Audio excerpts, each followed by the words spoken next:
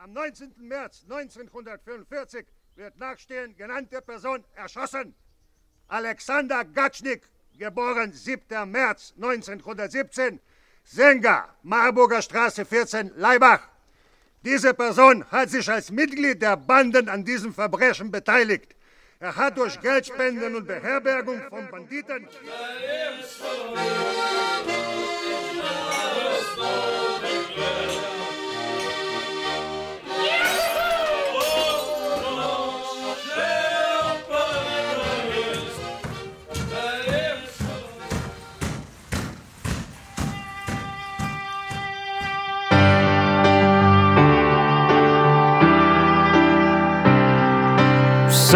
Kar ponos mi hrani daleč je, s tabo odrašča in pozna mene.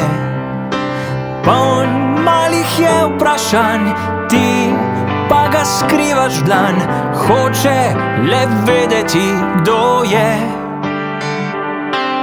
Vse, kar zapustil sem ob tebi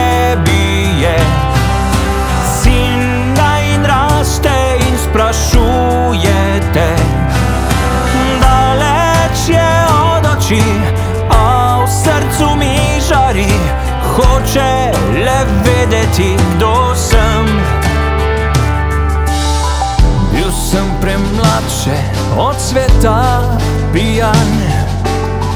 Lovil sem sanje, moral daleč stran.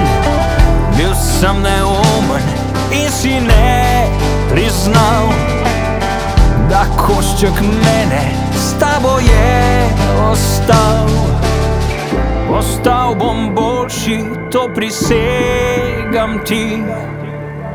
Postal bom oče, kot bilo ga ni. Vse, kar ponos mi hrani, daleč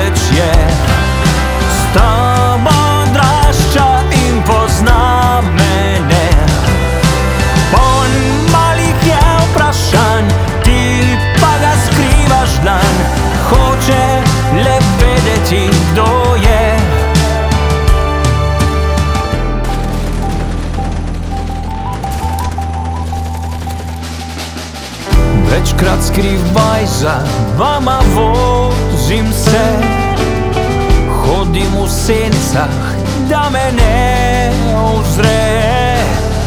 Rad bi na sonce tja pred vaju dva, da mu pokažem, da moj nasmeh ima. Postal bom boljši, to prisegam ti.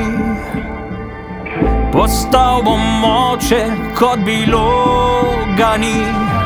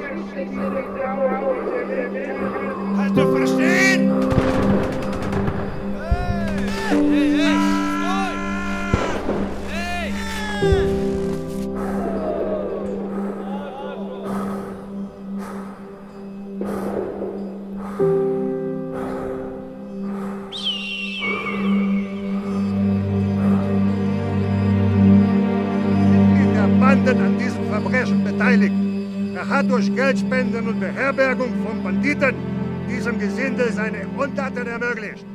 Wer den Banditen hilft, ist selbst ein Bandit. Wer nicht jede Spur staatsfeindlicher Tätigkeit der Polizei anzeigt, hilft den Banden. Die Schuldigen werden so lange ohne Gnade erschossen werden, bis der letzte Bandit ausgerottet ist. Stillgestanden! Das Gewehr laden!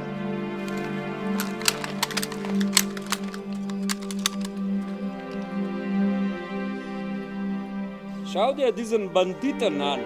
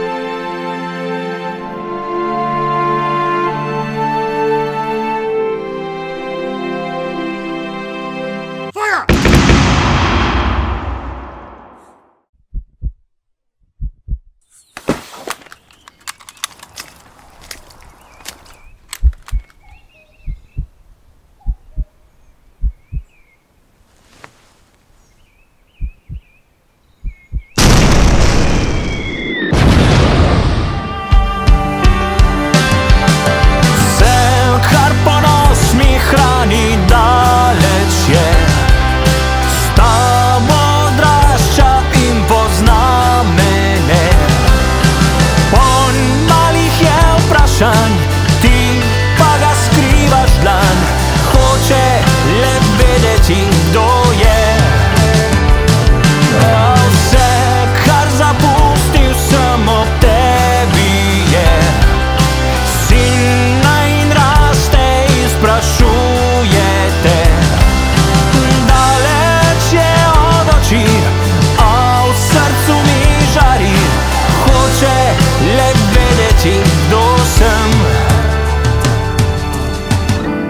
sem neumen, kot bilo ga ni.